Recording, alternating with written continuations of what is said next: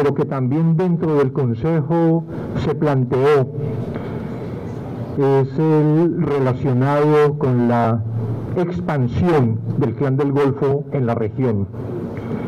Y en la confrontación que viene sosteniendo precisamente con ese propósito de expansión, confrontación que viene sosteniendo especialmente, pero no solo, con el Ejército de Liberación Nacional. Esto que ha llevado al confinamiento de, poblaciones en algunos lugares de la región.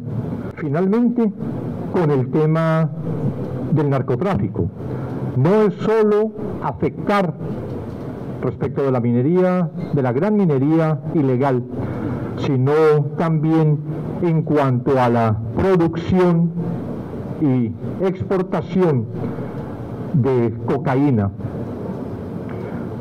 Una reiteración de algo que ha dispuesto y que en la meta propuesta por el presidente de la República en un reciente Consejo de Seguridad con todos los altos mandos militares y de policía en el sentido de alcanzar cifras históricas de incautación de la cocaína.